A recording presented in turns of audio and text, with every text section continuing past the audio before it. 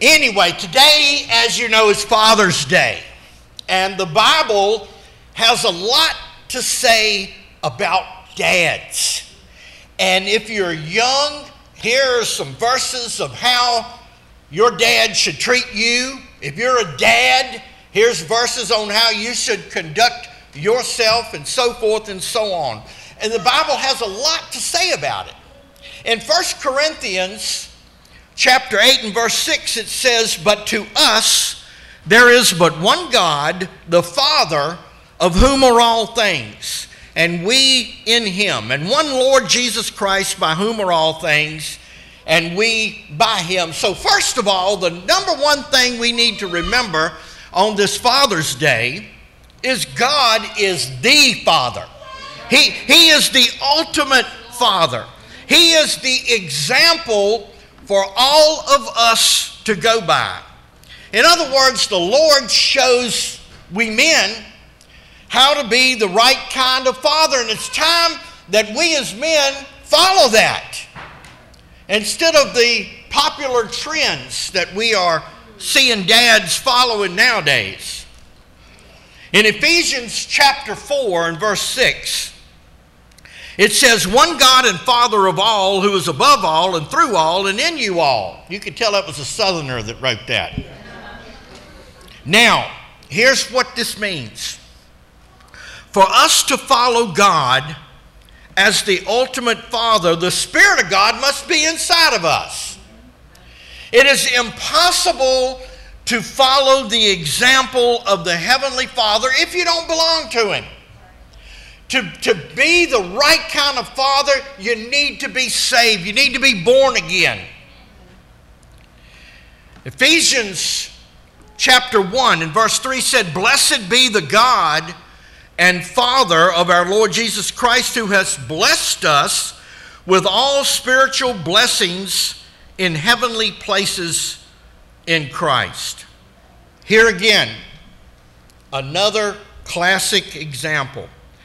God is always continually blessing his children. Dads, what are we? Are we a blessing to our children? Or are we a curse to our children? What are we? Are we a problem or are we something that they look forward to seeing coming in the door? If God the Father continually blesses his children, should we not at least endeavor to do the same.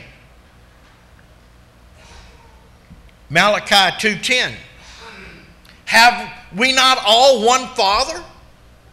Hath not one God created us? So why do we deal treacherously every man against his brother by profaning the covenant? Listen to this carefully. By profaning the covenant of our fathers.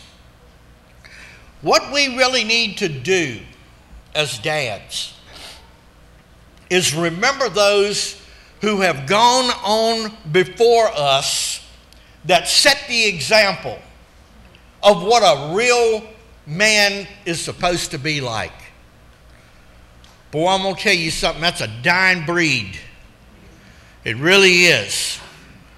Most of our forefathers would be very embarrassed to see of what we have become.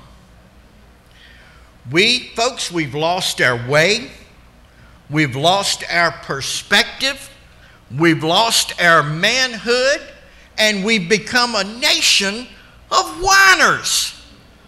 If you want to know what the perfect example of a whining man looks like, look at the Medicare commercial with Broadway Joe Namath on there.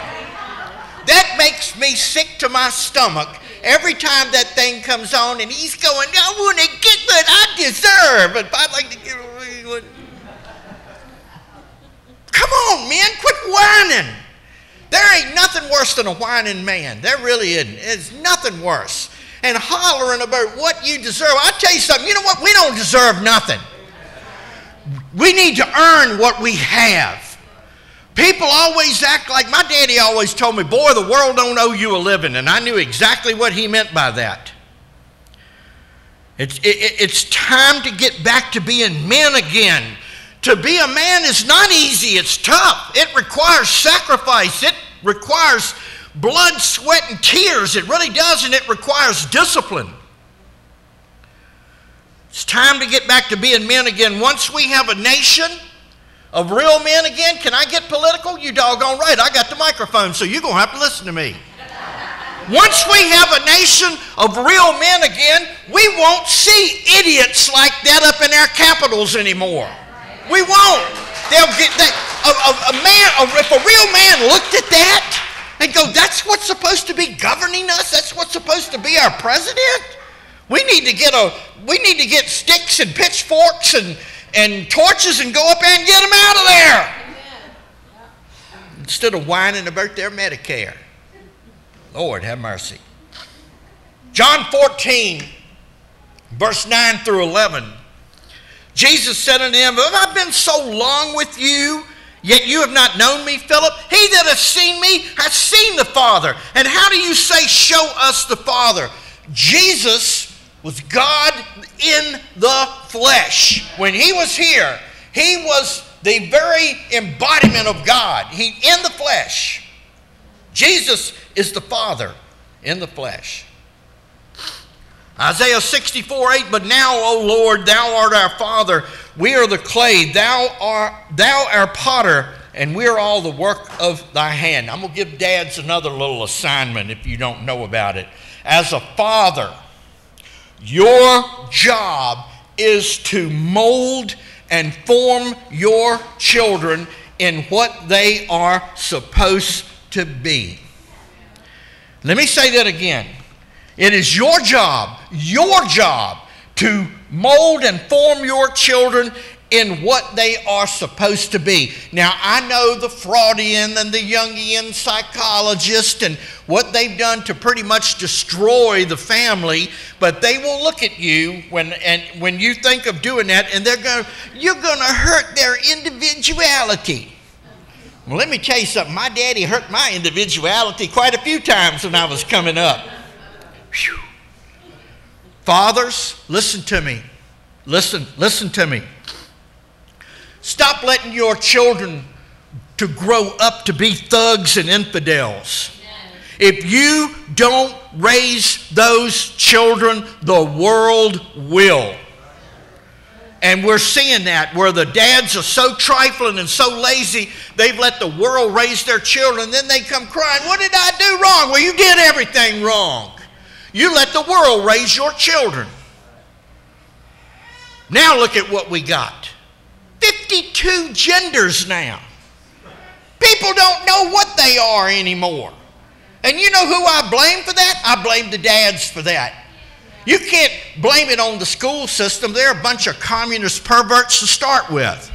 That's all they know, is what the Secretary of Education tells them to say. They don't get their instructions from the school board, they need to get their instructions from daddy. That's the problem right now 52 genders and the critical race theory, where you're supposed to be ashamed of what you are. And now, for the military. We've got stress cards. When your platoon leader or your drill instructor says something out of the way, you can hold up a stress card.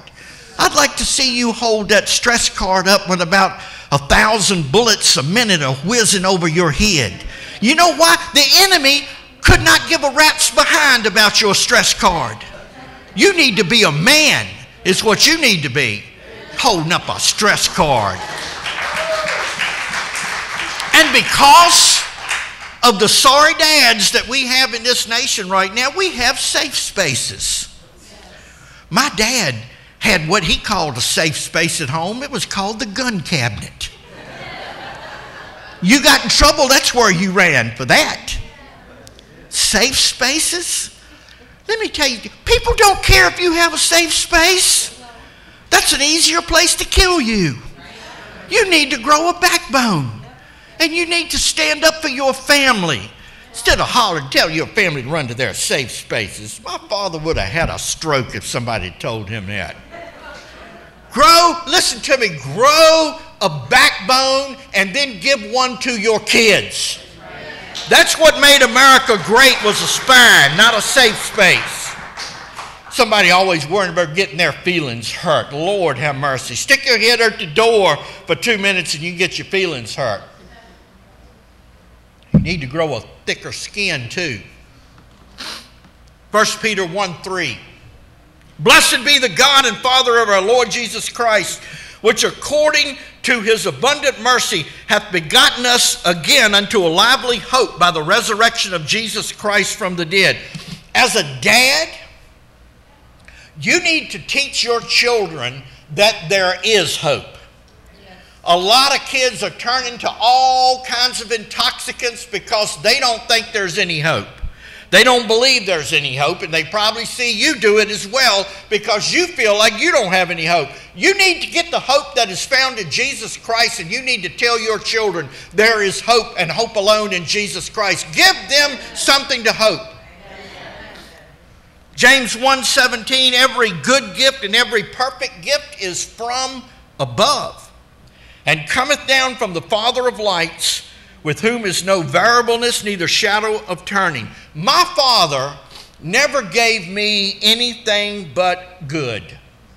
Everything my daddy gave to me and taught to me was for my good, just as our Heavenly Father does. Everything the Lord gives you is good. So, what are you giving your children? Dads, what are you giving them? Are you raising them to love Jesus? Or are you raising them to love the world? The world doesn't care about them. The world will drain them dry and leave them. What are you teaching them? What are you giving your children? As, as a father, listen to this. As a father, it is your duty, not somebody else's, it's your duty to give them an example to follow. If they follow you and end up in the pit, that's your fault.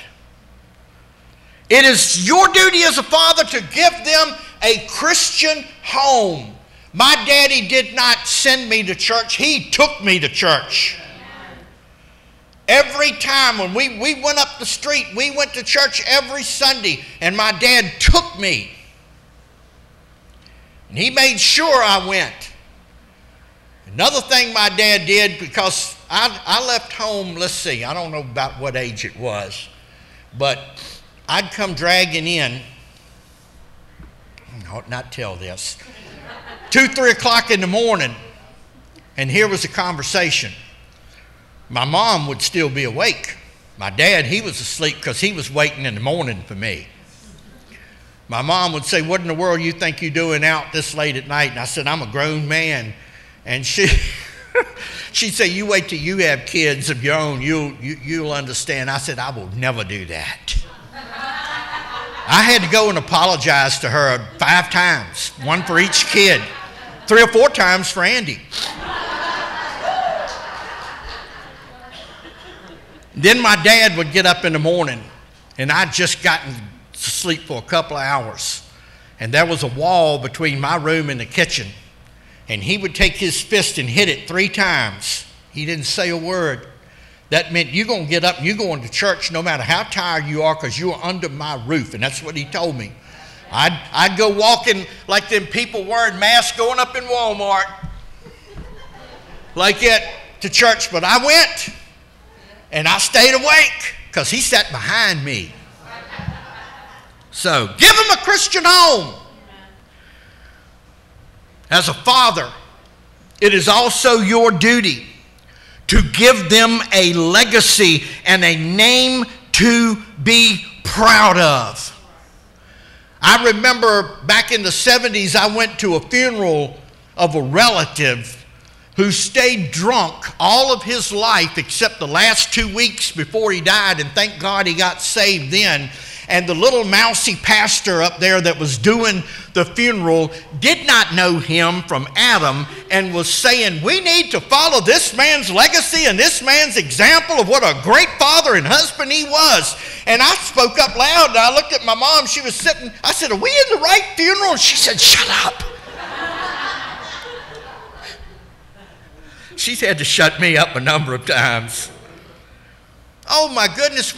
When you die as a dad, don't expect the pastor to lie for you. Let him tell something that is a true legacy of what kind of a man you were because your children will know the difference anyway. Lying over somebody at the funeral ain't going to do them a bit of good, no way. Matthew chapter 6 and verse 14 For if you forgive men their trespasses, your heavenly Father will also forgive you. Teach your children forgiveness. That's really important. It really, really is important. You know, a lot of times you, people will say, Well, you don't know what so and so did to me. Doesn't matter. Look what they did to the Lord. And He forgave. Forgiveness is the name of the game for Christians. And if your children see you practice that, they will practice that as well. Now, Matthew 6 26. Behold the fowls of the air, for they sow not, neither do they reap nor gather into barns, yet your heavenly Father feedeth them. Are you not much better than they? Dads, dads, dads, feed your family. Feed your, I can't believe I'm saying that, that I have to say that. Feed your family. All I can tell you is growing up, I never worried for one moment when my dad was there because I knew he was taking care of everything, and he did. My folks didn't have a lot of money, so daddy learned how to become an electrician, a plumber, and a mechanic. I've watched him do all of it. He never got anybody to come do anything. He did it all himself. And the house never burnt down, it never flooded. And the car always ran. And we always had plenty of food. And then when I grew up and found out how little my dad made, I wondered, how in the world did they make it on that? Because I thought we had money. Because he took charge and took care. It, it, the name of the game, dads, is get out there and hustle. Provide for your family. I mean, look at the bird. Anybody ever watched two birds raise their babies before? That is some work. They are flying, grabbing something, flying back, and they're doing that all day long until dark. I get tired watching them do that, but they're feeding their family. They really are. And if the birds know how to do it, what's wrong with us? There are so many deadbeat dads in jail right now because they would not take care of their family. And it is your responsibility to take care no one, no one else's, yours. So provide for your family so they don't ever have to worry about anything. I remember talking to Donna's daddy, the last conversation I had with him before he died. He was telling me he, he had, I forget how many jobs he had.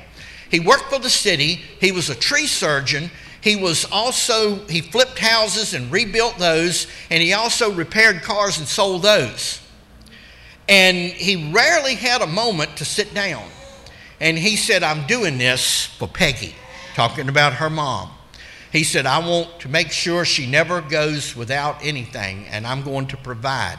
And he took care of her. And was it easy? No, because it was hard for him as getting as old as he was to hustle like that but he did because he wanted to provide. And I, that's what I've always remembered Johnny Bursch from. And, and I take my hat off to that man. He was a great dad and a great husband. And mine was like that too. I watched my dad go out one winter morning. There was a foot of snow on the ground. And I've told it many, many times. He, he had a 51 Chevrolet pickup truck. That was his pride and joy. He went out and shoveled a path to that truck jacked up the back of it, put chains on it, uh, shoveled the driveway out, and got in and headed to work with a 102 degree temperature where he was sick. And I said, Daddy, why in the world are you doing that? He said, Because it ain't going to get done if I don't go out there and do it. That's old school. Oh, thank God for old school because that's why we're all sitting where we are, is because of some old school men. You know, I remember Jim Gregg's dad. Man, that was a man's man's man right there. You ain't never seen such a big man. And he was an electrician. And he was and he was a wonderful, godly man, one of the toughest men I'd ever met. Of course, if he's bigger than Jim, he got to be tough. he was over at the school one day after we bought it.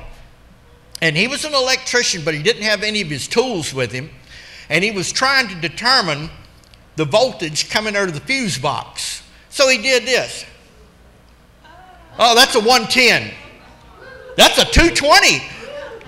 And it didn't do, I mean, I was always in admiration of that, but I ain't never tried that before. But he did it.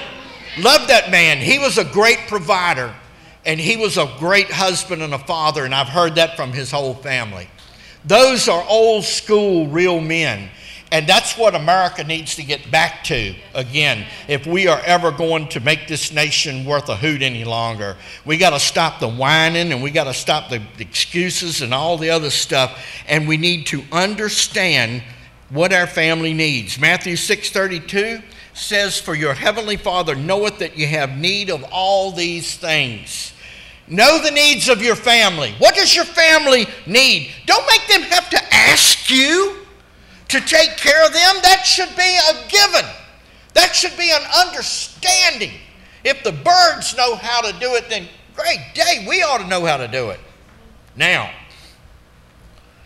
we're gonna get we're gonna we're gonna stop preaching and go to meddling here now.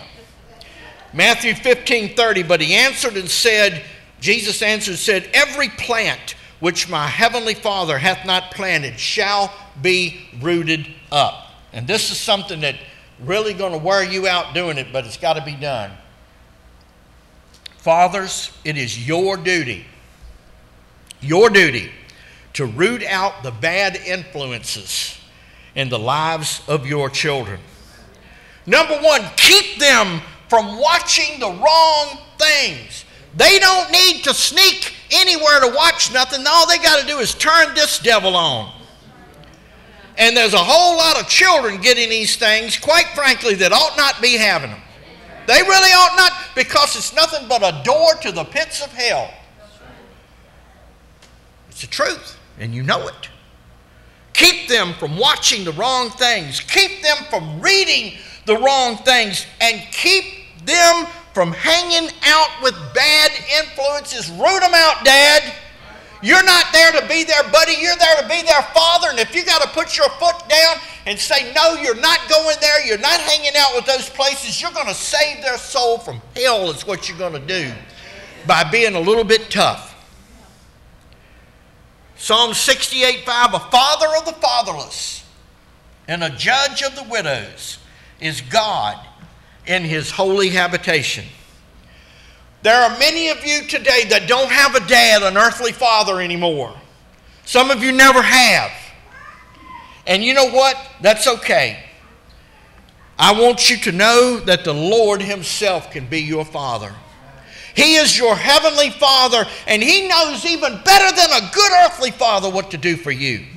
And He will look out for you, He will care for you, and He will help provide for you, and He will be there for you when nobody else will.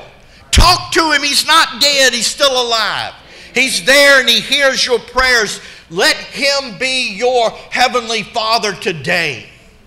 He will help guide you, He will show you in His Word the things you need to do. And for all of you dads out there, you need Jesus more than you ever have in your life. So do I.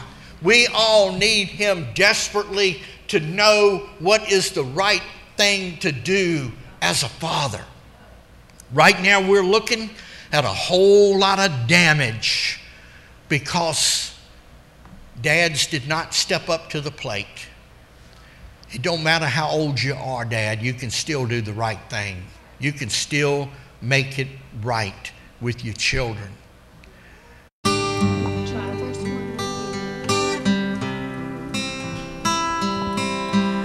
It hasn't been a bed of roses since I started on my way. And Lord, you know I'm not complaining. There's just something I should say. For I've reached desperation.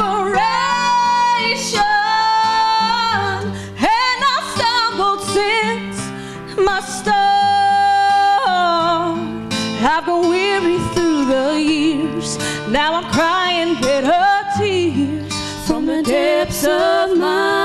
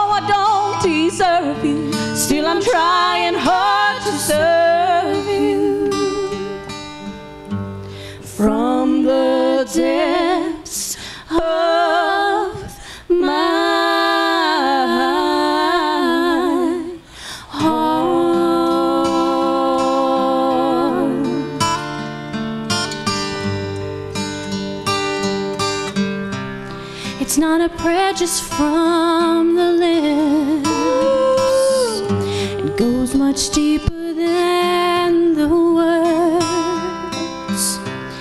It's not a worthless expression.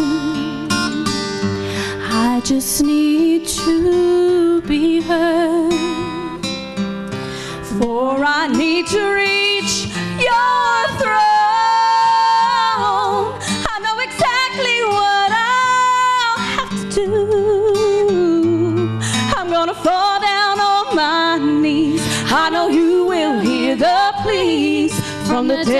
of my heart. From the depths of